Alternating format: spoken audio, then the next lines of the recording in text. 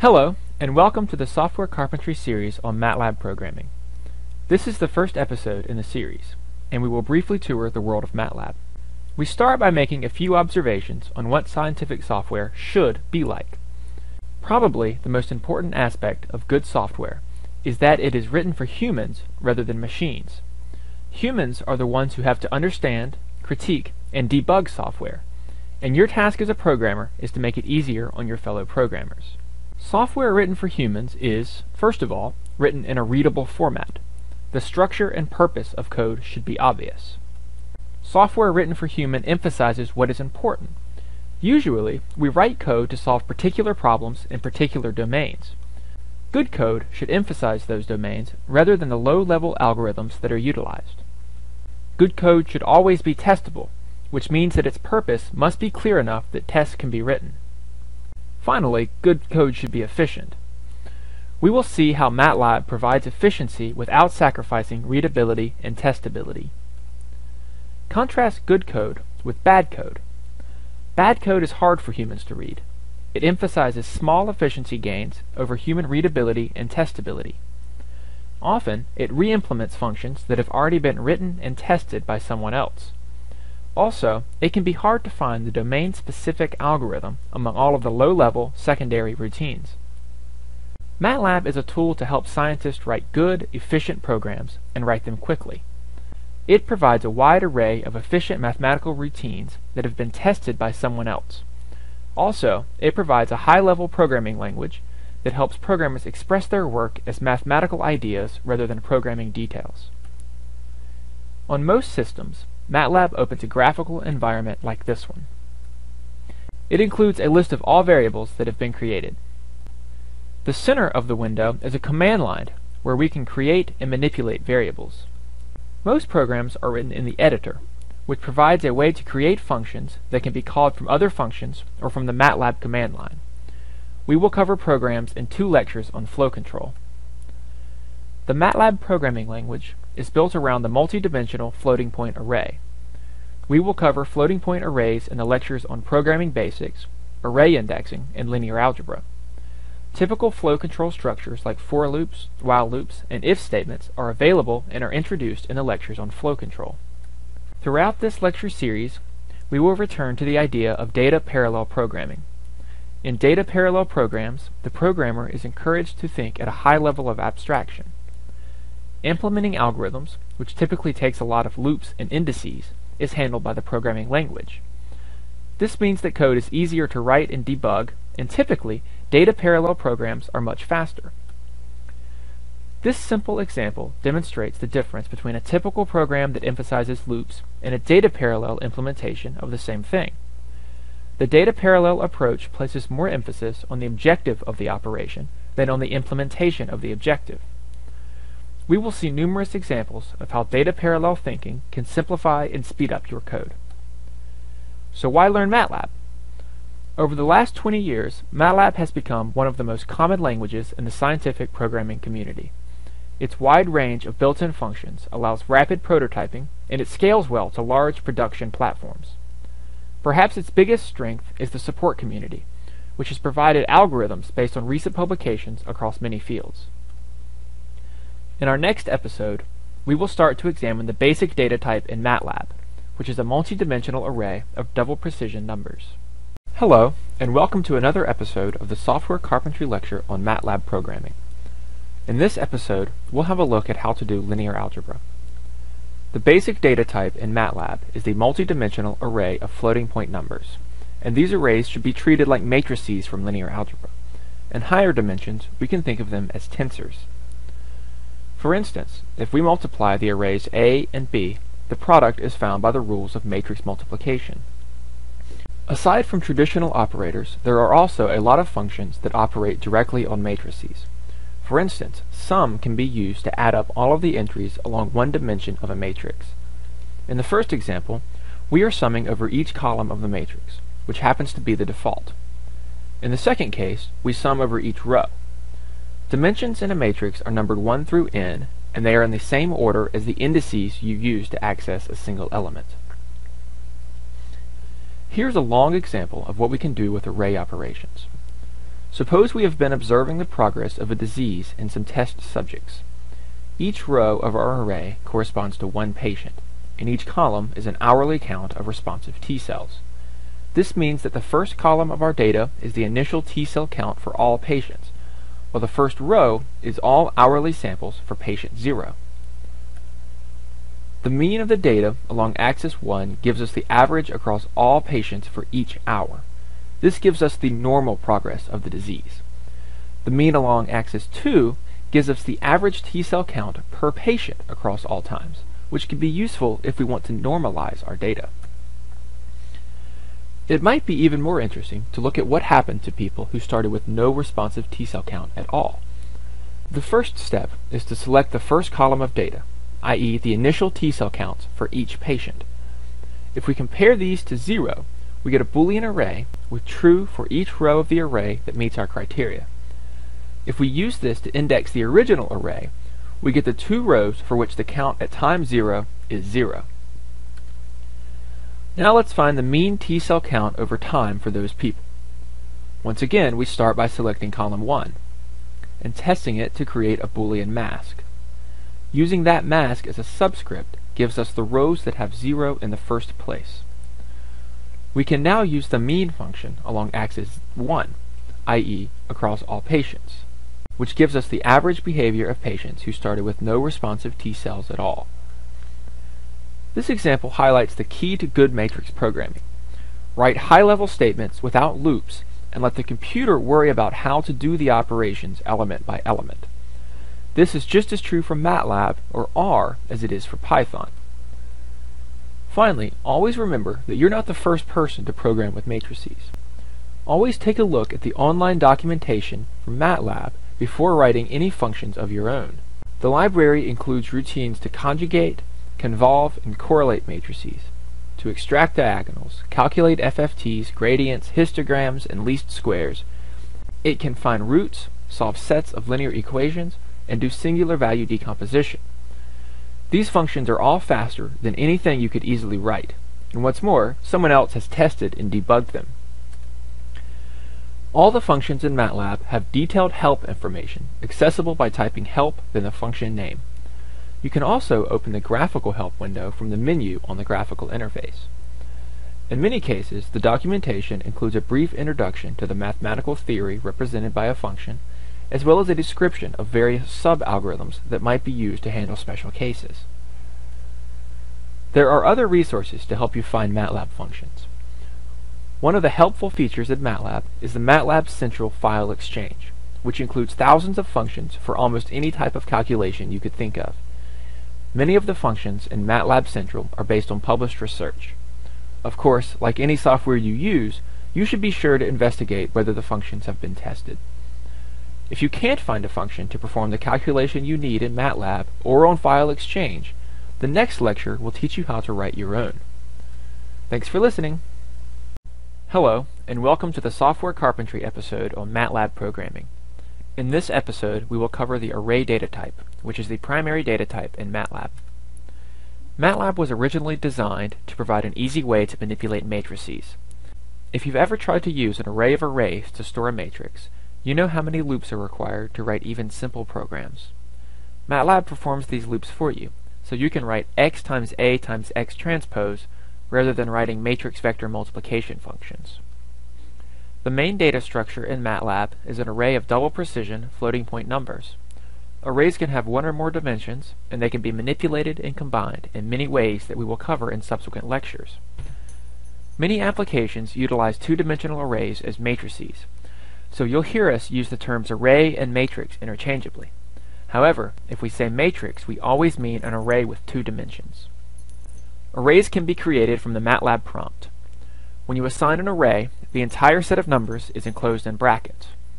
Elements in the same row are separated by spaces or commas, and a semicolon denotes a row boundary. Just like in linear algebra, a row array is different from a column array. Sometimes it is helpful to create a block array by using other arrays rather than scalars in the definition. This is fine as long as the sizes of the arrays match up.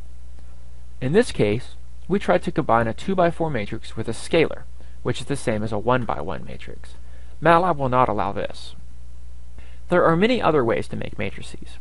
The functions zeros and ones will create matrices that have all zeros or have all ones. Another special function is eye, which creates an identity matrix. Finally, RAND creates a matrix of random doubles between 0 and 1. In a later episode, we will talk about how to program your own functions. But for now, let's explore some of the built-in functions to examine the shape and type of an array. The simplest functions are arithmetic operators, which operate on arrays in the way you would expect for matrices and vectors. Addition is element-wise and assumes that the two arrays have the same size. Multiplication is matrix multiplication and assumes that the inner dimensions agree. As an exercise, see if you can figure out what happens when you multiply two three-dimensional arrays. As a hint, try to see what sizes must match between the arrays. Other important operators are the transpose operator, which is a single quote, and two kinds of division. The first division is a forward slash, and it is equivalent to a divided by b if a and b are scalars. If they are arrays, it is equivalent to a times the inverse of b. As a convenience, MATLAB provides a backslash division, which is the inverse of forward slash. Rather than loop through each element of two arrays to combine them element-wise, most operators can be made to perform element-wise operations by putting a period before the operator. For instance, A dot times B returns the element-wise product of A and B.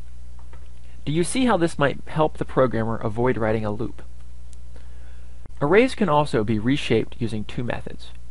The first is the function reshape, the first parameter to reshape is the array you want to reshape, while the second is a vector of dimension sizes. In this case, we want to transform A into a vector with four rows and one column. Since vectorizing an array is such a popular operation, there is an equivalent shortcut called the colon operator. If B is a 3 by 4 by 5 array, then it has 60 elements. We want to transform it to a 2 by 3 by something array, and it isn't too hard to see that the third dimension must be of size 10. What if we don't want to compute the extra dimension every time? It turns out MATLAB can compute a single missing dimension in reshape. In this case, we pass each dimension size as a separate parameter. This is fine for reshape. For the last size, we put in a pair of empty brackets, which is assigned to MATLAB to figure out what that dimension is for us. The reshape function will not add or delete elements from an array. So if the first two dimension sizes make it impossible to define an array, MATLAB is going to complain. Another important consideration is the order that reshape lists elements. In order to answer this question, we need to explore a little bit about how the computer stores a matrix. When we see a matrix, we think about a two-dimensional set of memory locations that each hold a number. The problem is that computer memory is one-dimensional. In fact, it is one long array. To think about two-dimensional matrices, we need to decide on a convention on how to store the matrix in memory. One possibility is row major order, which concatenates the rows. This is the convention used in the C programming language and in Python, since Python is written in C. In contrast, column major order concatenates the columns. The Fortran language uses column major ordering, and since MATLAB uses many matrix manipulation programs from Fortran, MATLAB uses the column major ordering. As an exercise, see if you can guess how the two types of languages store three-dimensional or higher dimensional data. It turns out that reshape always fills the new shape by pulling elements in the order in which they are stored in memory. Since in MATLAB this is column major order, Reshape fills the new array by pulling elements from column 1 and then column 2 and so on. Arrays can also be dynamically resized. If an element is assigned beyond the bounds of the current array, the array is filled with zeros for all spots that need to be created. Keep this in mind if you assign a zero to, say, the millionth column of an array. MATLAB is going to create 1 million columns of zeros in order to have space for the new element. Remember that an array is stored in column major order. If an array is resized in a way that changes the size of the columns, then the ordering is destroyed. a whole new block of memory gets allocated to hold the array, then the existing values are copied to the new memory location. If we continuously add elements to the end of an array, like on the last slide, the overhead can be very expensive. That is why it is better to initialize an array to the size you know you will need, then go back and fill the array one slot at a time. To review, in MATLAB, the primary data type is the multidimensional array of double precision floating point numbers. All of the arithmetic operators operate directly on arrays, and MATLAB provides hundreds of functions that also operate on arrays. Among those functions are reshape and implicit resizing. We'll see many more operators in the coming episodes, including a rich library of visualization functions. In the next episode, we'll have a look at how we can select values from arrays using indexes. Hello, and welcome to another episode of the Software Carpentry lecture on MATLAB. In this episode, we'll have a look at some of the ways you can index arrays. As we'll see, clever indexing allows you to avoid writing loops, which both reduces the size of your code and makes your code more efficient. Individual elements in an array can be accessed using a comma-separated list of integer indices. In most programming languages, the first element of an array is element 0. In MATLAB, indexes start at 1. Arrays can be sliced by using another array as an index. In this example, we use the array 1, 2, 3, which we can create using the shorthand 1 colon 3 notation. MATLAB programs should always use slices and other indexing operations rather than write loops over arrays. There are several advantages including shorter code that is more easily understood and improved runtime. It is also possible to assign to slices. For example, we can assign 0 to columns 2 and 3 in row 2 of block in a single statement. An array slice makes a copy of the underlying array, which means that the data values are copied to a new location and subsequent updates do not change the original matrix. Slicing on both sides of a statement gives us a way to shift data along the axes. If vector is a one-dimensional array, as shown here, then vector 1, 3 selects slots 1, 2, and 3, while vector 2, 4 selects the values in slots 2, 3, and 4. Doing the assignment overwrites the lower three values, but it leaves the uppermost untouched. MATLAB has a function circshift, which shifts values in an array in a circular pattern. Rather than discarding the leftmost item, it is placed in the rightmost spot, and all other values are shifted left. For more sophisticated indexing operations, we can use an array as a set of subscripts. For example, here's our four-element vector again, and a list with three legal subscripts 4, 2, and 3. The expression vector subscript gives a new array whose elements are selected from vector as you'd expect. Arrays can also be used in comparisons. When we use the result of a comparison in an index, we only get those values that satisfy the condition. Almost all arrays in MATLAB are of type double, which means they are floating point numbers. When a matrix is used in a comparison, the result is not a double, it is a matrix of integer zeros and ones. The difference is apparent in this example. Here the array m is the result of a comparison, and we can see that a 1 means that the corresponding element of v was less than 4. The array m2 is hand-constructed with the same pattern as m, but the values are doubles since this is the default. Try to use m and m2 as an index. The result of the comparison, m, can be used, but m2 fails because the indices must be integers, not doubles. Another term for an index from a comparison is a mask because the Boolean array masks all the elements of a vector that fail the condition. We can use Boolean masking on the left side of assignment as well, though we have to be careful about its meaning. If we use a mask directly, elements are taken in order from the source on the right and assigned to elements corresponding to true values in the mask. Using a mask on both sides of an assignment has a different effect. Corresponding elements of the array fill are assigned to A if the location meets the criteria in the mask. In both cases, only locations corresponding to true values in the mask are affected. It's what happens at the source that changes. Sometimes we want to replace values in a matrix with zeros without changing the size of the result. We can use the Boolean mask in element-wise multiplication to replace locations that are less than 1 with zeros.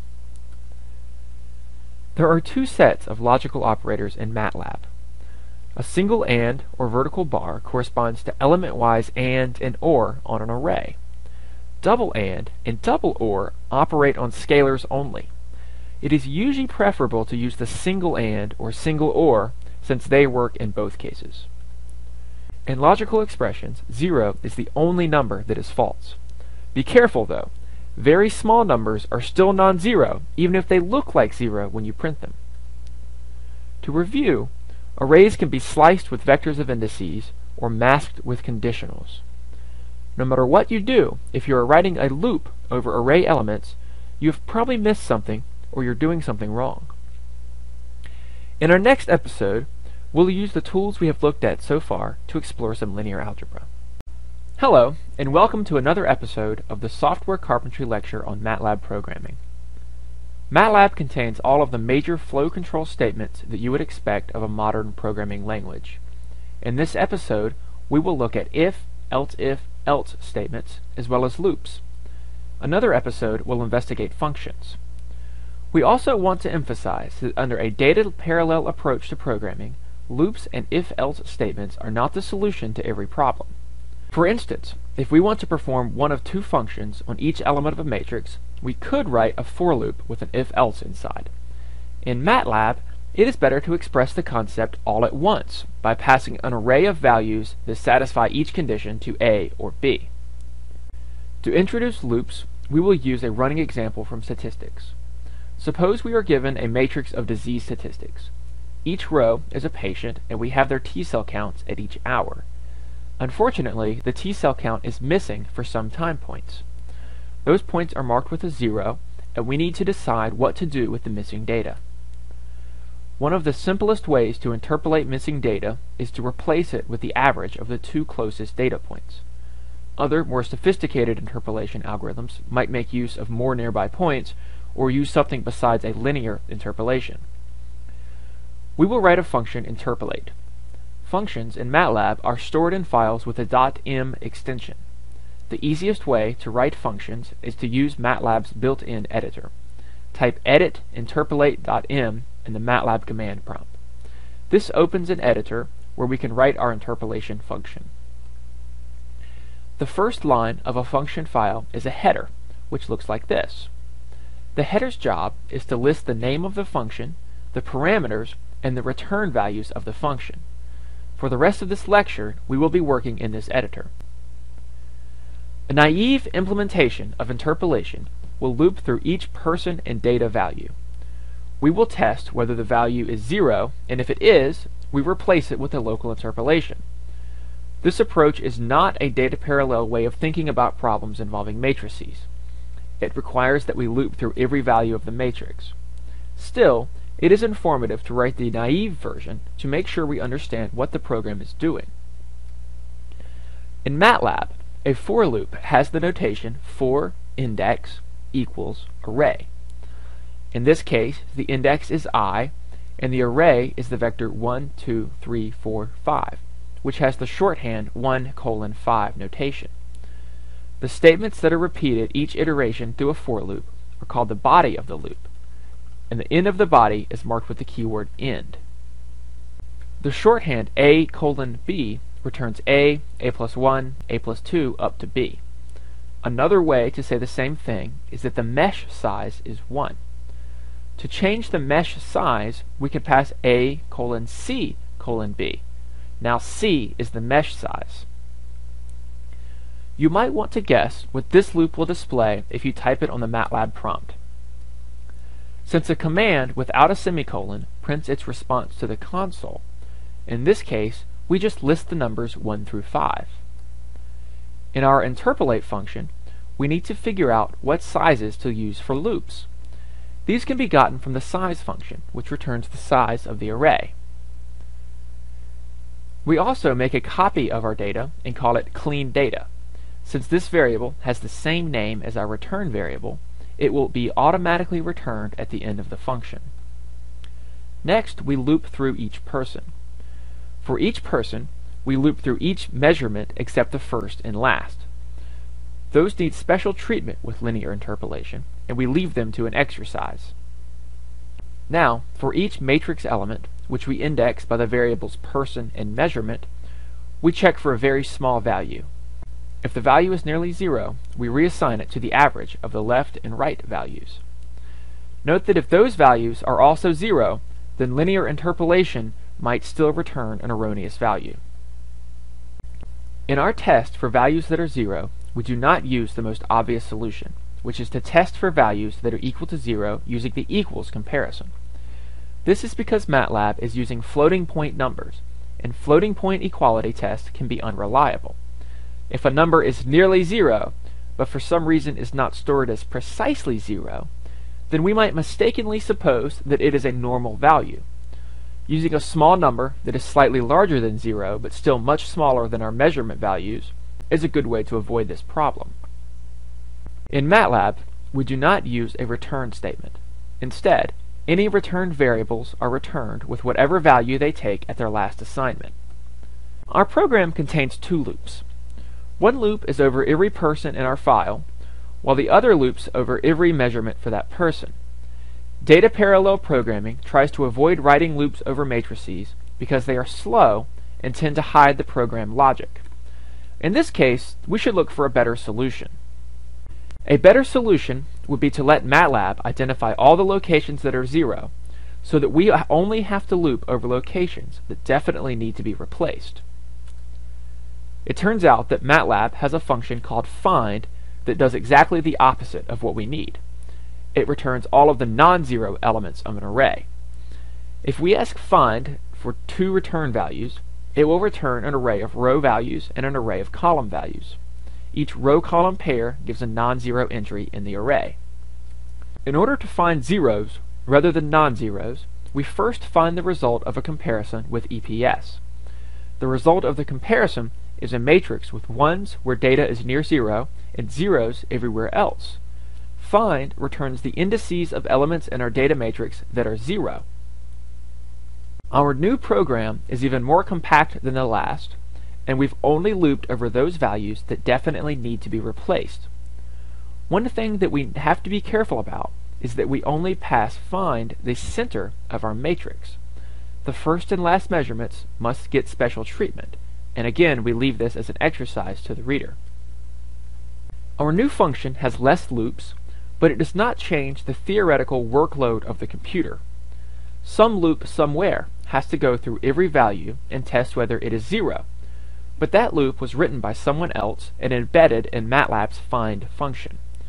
This loop will be faster and less buggy than anything we can write, which means we should take advantage of it. Another question is whether we can do even better with our program. Rather than loop through values of the arrays i and j, we could use the lesson that we learned in the episode on array indexing to interpolate all the missing values in one line. To review, MATLAB provides a complete set of flow control structures including while loops, if-else if loops, and for loops. It would seem strange that we spent an episode on flow control that ended with a program that didn't have any loops or if statements left.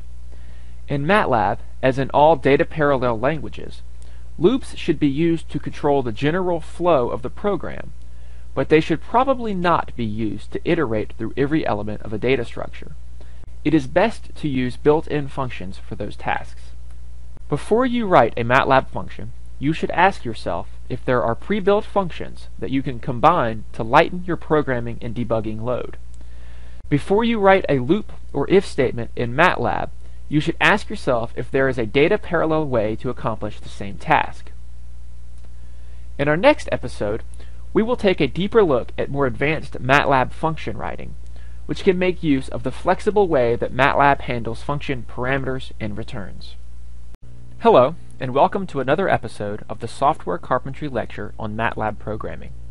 This is part two of the series on flow control. In this episode, we will take a closer look at functions. In the last episode, we introduced the if-else and for loop statements, which provide basic flow control in MATLAB. Another important flow control construct is the function, which helps divide a large program into more manageable sections. Each function represents a single task that can be separated from the whole. We created a function in the last episode to hold our interpolation example. Now, we will update that function to be more useful in general situations. Any program can be broken into a series of independent tasks. The task of loading data should be independent from the task of performing a calculation on that data, which should then be independent of displaying the result of the computation. Each subtask has its own set of subtasks. For instance, to load data, one first has to figure out where the data is located, then read it from the disk or network, and finally test that the format is correct. A large calculation often has many subtasks that should be logically independent from the rest of the program. A function can be used to encapsulate each of these tasks into its own logical unit. In MATLAB, most user activity occurs in the main workspace, which can be controlled from the command line in MATLAB's interface. The main workspace has a state, which contains the set of defined variables and their current values. When a user calls a function, she passes some variables to the function as parameters. The function performs its task and may pass some return values to the caller. The function has its own state. It doesn't have access to the variables inside of the main workspace unless they are passed as parameters. As an example, consider the problem of computing eigenvectors. The eigenvectors of a matrix are the set of vectors that only change by a scalar under matrix multiplication. The scalar multiplier is called an eigenvalue, and eigenpairs form a key theoretical concept that is used in many fields. Computing eigenvalues is a subtask that should be handled by a function. MATLAB provides a function eig that computes the eigenvalues of a matrix and returns them in a vector. The, the same function can compute both eigenvalues and eigenvectors. If we ask for two return values, then the first return value is eigenvectors, and the second is the set of eigenvalues. That means that the first return value's meaning actually changed when we requested two returns. The eigenvalue function, and many other functions in MATLAB, make use of two special functions called nargin and nargout to tell how many parameters were passed into the function and how many return values are expected. Nargout should be thought of as an extra, implicit parameter that is passed to every function. Just like any other parameter, nargout can be used to dictate the behavior of the function. Let's return to the interpolate function that we introduced in part 1 of the flow control lectures. In that episode, we defined a function that would accept time series data that contained bad measurements. All of the bad measurements were assumed to be zero, and our function filled in those zeros by interpolating from nearby values. In this episode, we will make our function more useful by adding extra parameters and return types. First, we will let the user choose a range of acceptable measurements by specifying a lower bound other than the default of 0, as well as by letting them choose an upper bound. We will also add a few status variables to the output. In our new function, we will follow a general MATLAB convention. The first return value should be the result of the calculation, and generally, that value means the same thing no matter how many return values are requested. If the user asks for more return values, those should be treated as status variables. For instance, the min function returns the minimum entry in a vector as its first return value. If another return value is requested, that value holds the index of the location that contained the minimum value. Our new function will accept an optional minimum and maximum acceptable value. It will also declare that it can return up to three values. The second return value is the number of locations we replaced. The third return value is the set of indices of locations that we replaced. Note that we are following the pattern of less to more information in our extra return variables. At the start of our function, we test whether a second parameter was passed. If not, then the min is set to the default value of 0. Next, we test whether a third parameter is passed. If so, we find all values that are larger than the max and add them to the list of values to replace. After we've interpolated all of the values that need to change, we assign the extra return values as needed. If the caller requested a second variable, we assign the length of the replacement vector to num replaced. If they want all of the locations that were replaced, then we assign the set of row and column indices to the variable replaced locations. To review, functions can be used to encapsulate a single task or idea in a way that separates it logically from the rest of the code, and that separates variable names to avoid accidentally overwriting globally defined variables. MATLAB functions can have a variable number of parameters and return types, and the function has access to the number of each through the use of nargin and nargout. In the next episode, we will examine cell arrays and structures, which are data types that are useful when working with data that is not well suited for an array. Hello, and welcome to another episode of the Software Carpentry Lecture on MATLAB Programming. In this episode, we'll have a look at file input and output. Scientists use a lot of data, and it takes many forms. Almost all of the data that we use can be interpreted as an array, and MATLAB has the tools to convert many common data formats into array structures. In this lecture, we investigate MATLAB's data input and output mechanisms. First, we look at a few functions that open files and translate their file format to a MATLAB data structure. We also investigate functions to print formatted output to the screen, Last, we investigate functions to write arrays and other data structures in common file formats. Importing data can be done in one of two ways. The easiest is to use the graphical interface directly. The graphical interface is easiest for quickly loading a single file, but it isn't really feasible if you have to load a lot of files.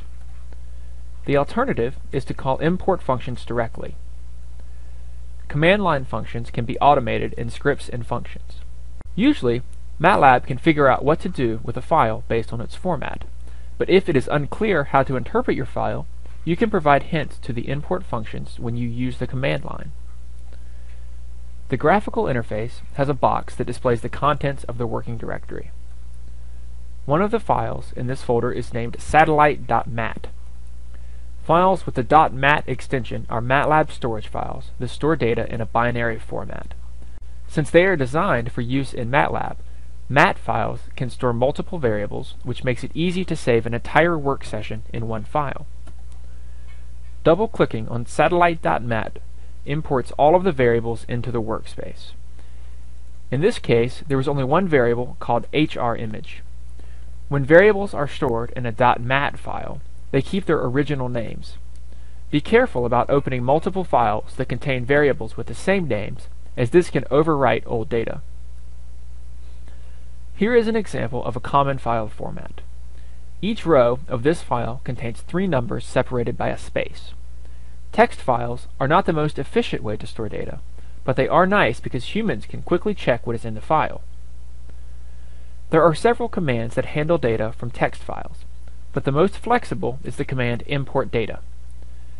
Import data is a wrapper function, which means its job is to figure out what format the file is using and identify the correct function to read the data. Sometimes import data may have trouble identifying the correct format of a file. This is especially true if the file uses an unexpected column delimiter or has multiple header lines. Type help import data to see more information about optional arguments. Wrapper functions help hide internal details from the end user. In this case, import data will call a function like load, XML read, or imread depending on the file. Users do not have to remember which function to use in every situation. Import data returns the input as a structure. If you haven't done so already, it would be a good idea to look at the software carpentry episode on MATLAB data structures, including the episode on cell arrays. When we inspect the elements of the structure, we see that the file's information was broken into a large three-column matrix called data, a cell array of strings called colheaders that are the column headers for each column in our matrix, and a third item called text data that contains a copy of the column headers. If we had more lines of text at the start of our file, these would have been stored in a nested cell array in text data. The structure's format depends on the type of file that is imported. For instance, we can read this spreadsheet using the same import data function. The result is a structure, and each element of the structure is a sheet in the spreadsheet. The other half of File I.O. is retrieving results from MATLAB. There are multiple ways to save data. We can save a plot or image of our data. We can save printed output, such as a series of commands and their results, or we can export variables to a file. Visualization is a large topic that deserves its own episode. Hello, and welcome to another episode of the Software Carpentry Lecture on MATLAB Programming. In this episode, we will talk about printing formatted output to the screen and exporting data to a file. Before we start printing to the screen, it is important to figure out what kind of output is appropriate to print to the screen. One common practice is to print intermediate status messages in functions that run for a long time. A good status message can help the user abort a program if it is not performing correctly. Functions that iterate an unknown number of times often have status messages. An example of such a function is the power iteration algorithm, which finds the largest eigenpair of a matrix. It is often used on large, sparse matrices such as the matrix of weights used by Google's PageRank algorithm. The basic algorithm is embodied in the red equation, which is just a matrix multiplication and division by a scalar. Here is a piece of MATLAB code that computes the power iteration of a matrix A. Note that we loop over the iteration until successive approximations b and b underscore new differ by at most 1e negative 5. If we define a large matrix and compute the power iteration, there is no guarantee on how long the algorithm will run. There are several things that can go wrong, including a coding error or floating point error that leads to an infinite loop. One way to monitor the calculation is to compute the stopping criteria and leave off the semicolon. This is not a good idea because it prints four lines per iteration. If we need to print several status variables per iteration, the output is both long and hard to read. A better strategy is to utilize the fprintf function, which prints formatted text to a file or to the standard output stream. Clearly, this output is cleaner and shorter than it would be if we had just left off a semicolon. fprintf is mirrored on the printf statement from C or Fortran. The important input is format, which is a string that contains special escape sequences that start with a percent sign. Each percent sign corresponds to another parameter that will be printed at the specified location. The numbers and digits that follow a percent are hints on how to format the number. For instance, percent %d means to interpret the corresponding value as an integer, and we see that the input i makes sense as an integer. Percent %f means to interpret the value as a floating point number, so the norm is printed in floating point format. There is a long list of formatting symbols that is available at the online help for fprintf. Another important use of printed output is for auditing during data exploration. If you are exploring several kinds of analysis, journaling with the diary function can help keep track of what commands were run and what their output was. MATLAB always tracks the history of commands that were run from the standard prompt. These can be accessed from the History screen or by typing the up key in the prompt. History gets us halfway there. It stores what commands we ran, but it does not store a transcript of the actual output. Using Diary, we can find changes to output that might be caused by changes to functions or data files. To turn on the diary, type diary and a file name. If you don't specify a file name, the output is stored in a file called diary. You can turn the diary on and off by typing diary on and diary off. Unfortunately, there is no single function that can store any kind of data. This should make sense because it is important to specify how you want to interpret an array or structure. If you are saving data that will be reloaded by MATLAB, it is probably best to use MAT files that can store your entire workspace. However, keep in mind that MAT files cannot be examined in a text editor, and you are reliant on MATLAB or third-party program to read the files later on. Another option for some data is XML, which is a formatted text file that can store multiple variables. Many times, it is important to export data as a sound or image or other medium. MATLAB provides functions to translate arrays or structures into many media formats. Some special video or image formats might require codecs to correctly encode a file, and these can be found at MATLAB's File Central. The important point is that most data can be interpreted as an array. MATLAB can import data in many different formats, and it provides tools to export data structures back into many media and storage formats. In the next episode, we will look at visualization in MATLAB, which includes tools to create plots and images. Hello, and welcome to another episode of the Software Carpentry Lecture on MATLAB programming. In this episode, we will examine visualization techniques using the functions plot and imshow. Visualization has always played a big role in understanding our data and ideas. This image, from Isaac Newton, demonstrates the ideas that led to the integral.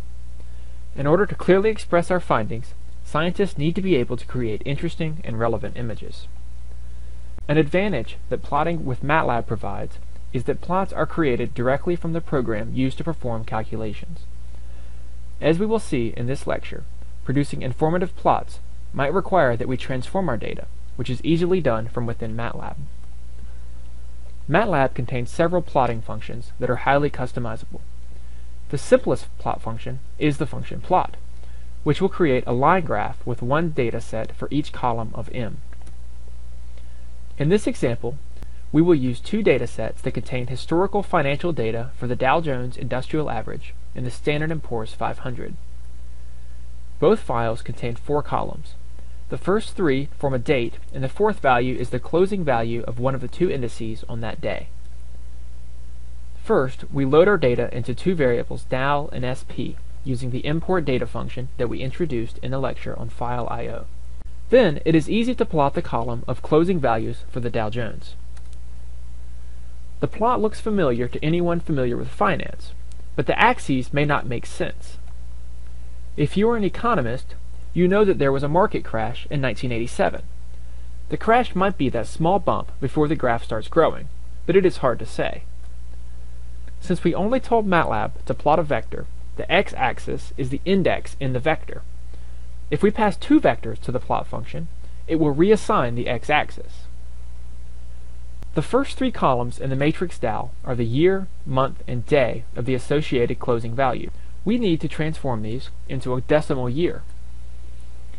As a rough approximation, we divide the month value by 12 and the day value by 30 times 12. This translates all of the dates into the years unit. This time, when we call plot, we pass the value for the x-axis first and the value for y second. MATLAB chooses the correct values for the x-axis.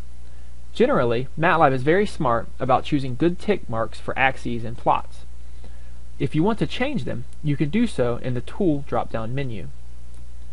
If you want to make further edits to the format of the plot, you can access either the Tools or Insert drop-down menus.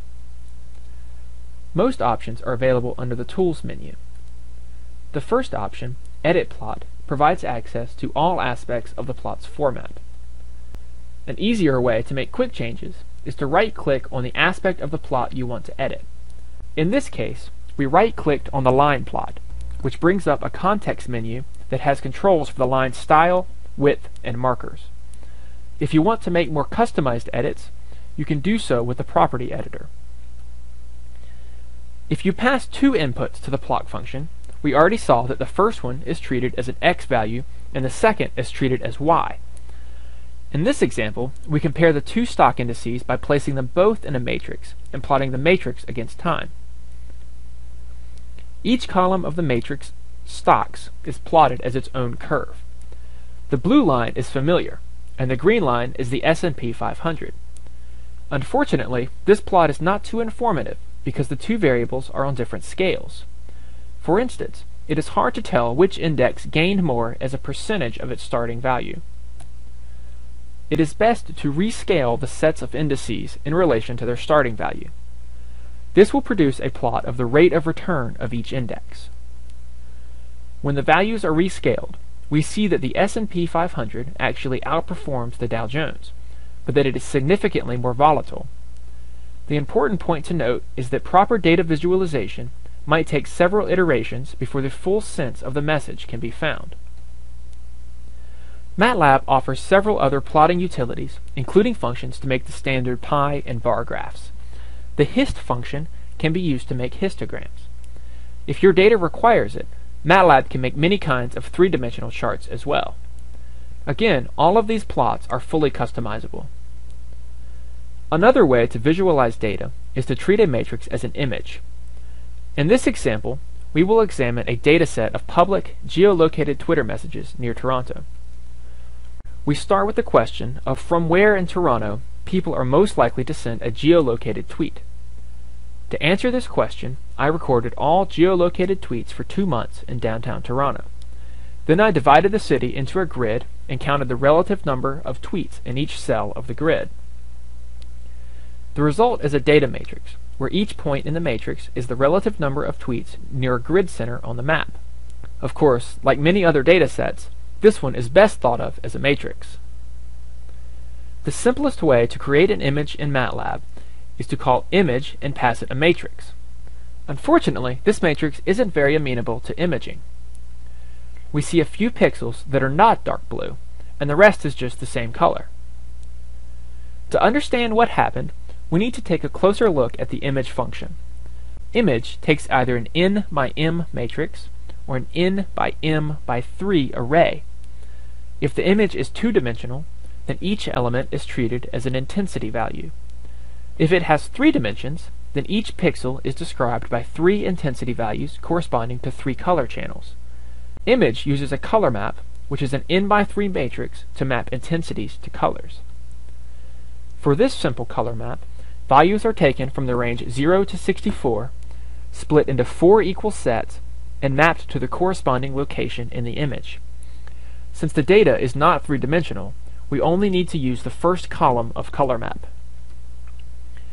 The intensity values between 0 and 64 are mapped evenly to the rows of the color map, which produces the colored output. There are many color maps in MATLAB which can be accessed by typing help color map. In a moment, we will explore a few of the more standard color maps. An important point about image is that it expects all the values to be between 0 and 64. If the data has a different range, then it is truncated to the range 0 to 64.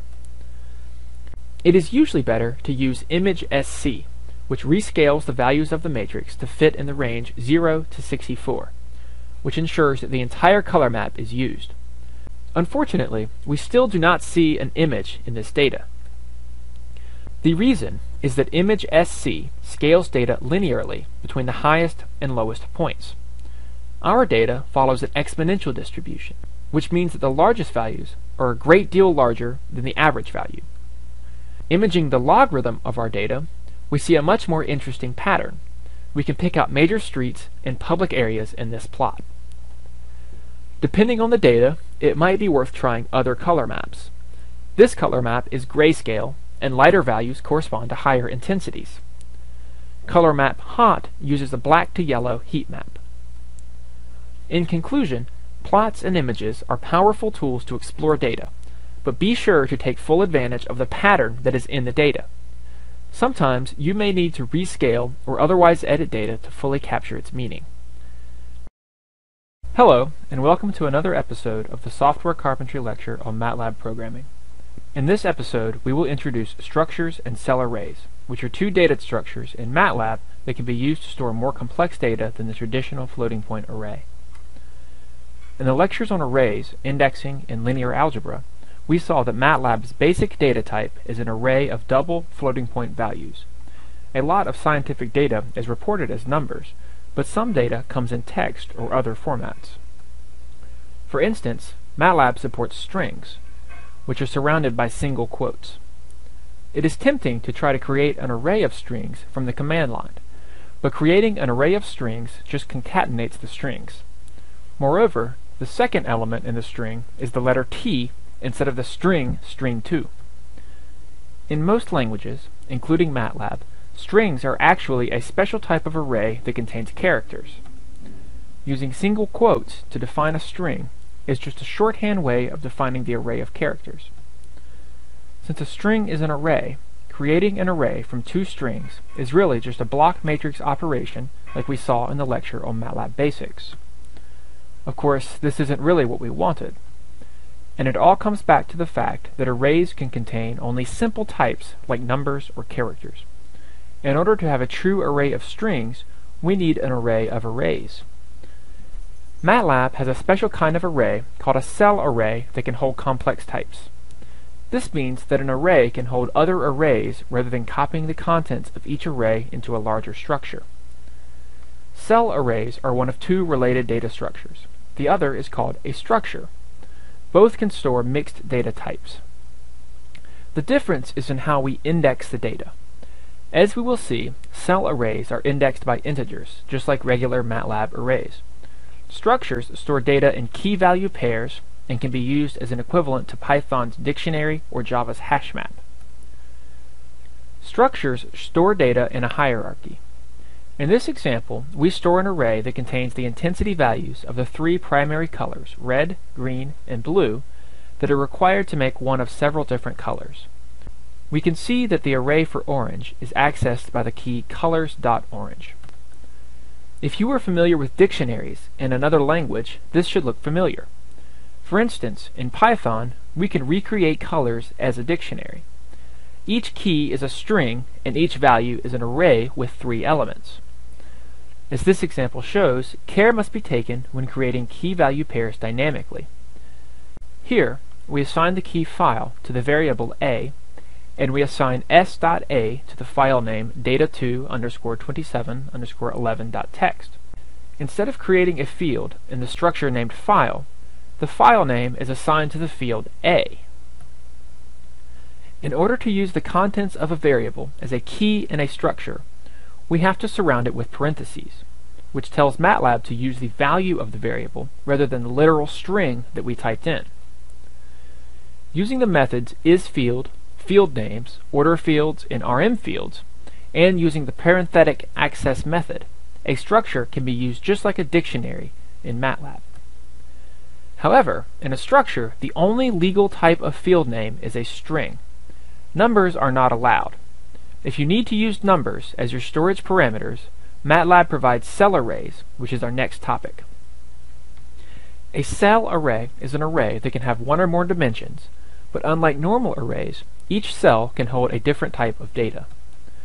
The first major change we note is that the cell array is denoted by brackets rather than by the square braces that are used for regular arrays. Also, pay attention to the types of objects that we put in the cell array. Here we have a double, a string, and a boolean. Cell arrays follow the same indexing rules as arrays, but they can be indexed using either parentheses or curly braces. The difference is that using parentheses returns a cell array with a single element while the curly braces returns the element in the first slot of the array. This might seem confusing, and it is. The truth is, cell arrays were a late addition to MATLAB. The core language was designed with only arrays in mind, so both cell arrays and structures had to be given a few slightly strange syntax patterns in order to maintain full backwards compatibility. If you get an error when you are working with cell arrays or structures, be sure to check the output of the function isCell or isStruct. If the answer is 1, then the data type was a cell array with one element. If the answer is 0, then the data type is the type of whatever was stored in that location. This analogy might help you tell the difference. If a cell array is a series of mailboxes, then accessing a cell array using parentheses is equivalent to identifying a single mailbox. Indexing the cell array using braces is like getting the contents of the mailbox. There are several functions that will help you navigate between cell arrays, structs, and strings. IsCell and IsStruct are pretty obvious. The function char will flatten a cell array of strings into a regular array of characters. Earlier, we noted that an array of characters is just a string. Cell arrays can have more than one dimension, just like regular arrays. indexing shortcuts appear to work as expected, but note the slight difference in the output. Also, if we assign a set of cell array contents to a variable, we only get the first variable in the index. This is MATLAB's best guess as to what we want, because we are asking MATLAB to assign the value in each cell to the variable call. In reality, this request doesn't even make sense. If we really meant to get a column of cells, then we need to use cell indexing instead of content indexing. To review, we'll compare structs and cell arrays to Python, another common programming language. Python and many other languages have dictionary data types that hold data in key-value pairs. A struct acts like a limited dictionary, but the limitation is that it only accepts strings as keys. A cell array is not a dictionary at all. It is more like a list in Python because it can hold mixed data types, but it is accessed using numerical indices. The important thing to remember is that cell arrays and structures are both designed to hold data with heterogeneous types. Thanks for listening.